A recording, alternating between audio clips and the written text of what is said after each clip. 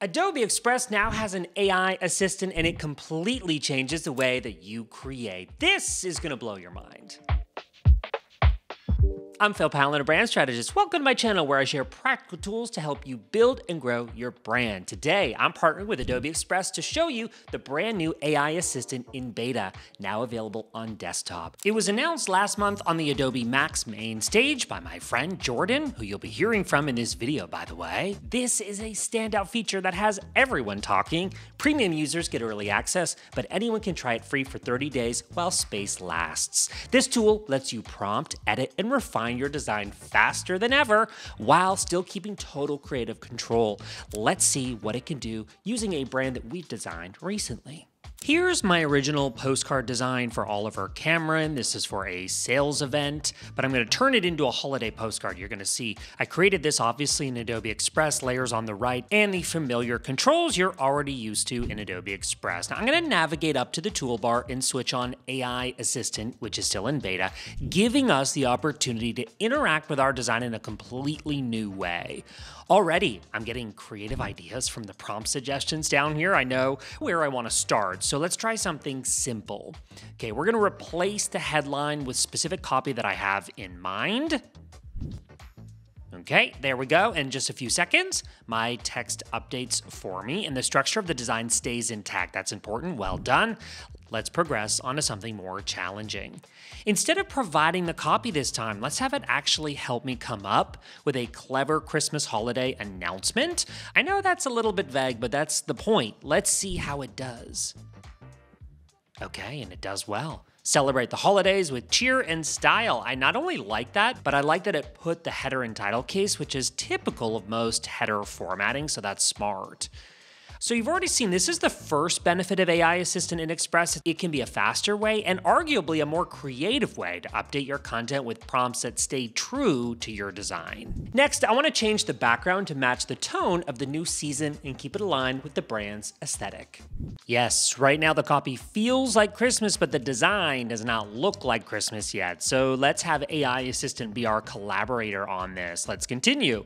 I want a darker background for sure, so the beige text still shows up cleanly. So I'm gonna try to replace the background with a dark brown leather texture with soft lighting. I have this in my mind.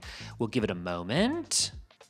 Okay, I like that it gives me a few options, by the way. We're seeing a new view here because uh, I won't really know what works until I actually see it. So I can click through here. Uh, these are options that are getting pulled directly from Adobe Stock. I'm between two variations here, but I think I like this one the best. Layers still stay intact, so nothing is flattened or baked in, and I can still adjust the text, the product, and the layout exactly the way that I want, which is important. Now, let's make this look even more holiday, but I'm not gonna tell it how. Let's see if it can help me solve my challenge, which is, how do I make this poster, this postcard, look more holiday without it looking tacky? You know what I mean, holiday stuff that looks really tacky. We don't want that. It's a genuine question that I don't actually know the answer to yet, so let's see if AI Assistant does. I'm really trying to test its limits here. Oh, how interesting. I see what it's doing here. I appreciate the detailed explanation, by the way, almost showing its work. Basically, it says it updated the overall theme with a subtle festive texture, keeping transparency intact, refining the heading to feel more holiday inspired, and then adjusting the spacing on the subheading and body text so that everything feels aligned with the seasonal look. I didn't actually mark this background layer originally as a background, so it may be my fault here misleading it, but honestly, I think the background is not tacky and it's still Christmassy. So this gets another pass from me. Notice how I'm still interacting with each element and layer normally like I would in Express. That's not only permitted, but it's encouraged. This is a non-destructive environment. That means I can keep on building the design without losing flexibility as we refine the look here. Basically, AI Assistant and I are working together as a team, and I like it. Now I'll use AI Assistant to fine tune the color palette. Now that we've set the holiday tone, I want to fine tune the color so that everything feels really balanced. The green for me is working, but I want it to feel a little bit more refined. So I'm going to ask, make the green background a slightly cooler, darker green so the beige text stands out more. We'll give it a few moments. there we go. And it does exactly that. And actually, just to show you the difference, it's subtle, but I like it. I'll revert the edit so you can see the previous version. Now, what's great about this is if I select edit, I get more granular controls for contrast, brightness, warp, so I can dial in the exact tone that I'm going for here myself. So far, I'm enjoying all the different ways that I can edit my content either be it from a prompt or jumping in here and using some of these more granular controls. It's quick when I need speed, it's precise when I want to fine tune, all while keeping the design fully editable by me. I like that. Okay, now let's test how it handles product images. Let's remove the shopping bag for this one, which is a linked asset I should mention. So this automatically updates if my designer changes the mockup, the original file in a tool like Photoshop. That update gets pushed to Express automatically, which is handy. Let's see if I can generate a handbag on top of the pedestal. We're gonna get advanced here. So far, AI Assistant has worked really well for me for all the requests that I've made, but I really want to push it to its limits. I kind of want to break something here to see what those limitations are in its current state or and or learn how I, the user, might consider prompting differently to yield a different result. Okay, it understood the handbag, although it hasn't placed it contextually on the pedestal, as I was hoping. Part of me wonders if it's because the pedestal is a separate layer from the background. Had it been a single layer, the AI might have been able to digest the entire picture, but that's okay. There's actually a good option here that we can combine with Express's existing tools like remove background. And I've got a totally viable option here if I'm wanting to showcase a product instead of a shopping bag. So the result was not exactly what I was expecting or hoping, but I'm still really happy with it. Plus, this image originates from Adobe Stock so that I know it's safe to use. Finally, let's add motion to make this social ready. Okay, to finish this off, before I share some best practices from Jordan, I'm gonna prompt animate my whole design. Let's see how this goes. Okay, AI Assistant has everything moving together in a way that feels coordinated and intentional. That's great.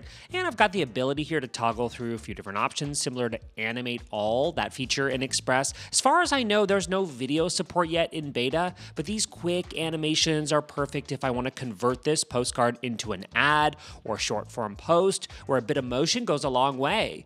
It's one of the fastest ways, I think, to make static content feel dynamic. So, this is a great final touch before exporting. Now, let's wrap with some best practices using AI Assistant from my dear friend Jordan, Adobe Express evangelist and superstar, who presented this new feature on the keynote stage this year at Max.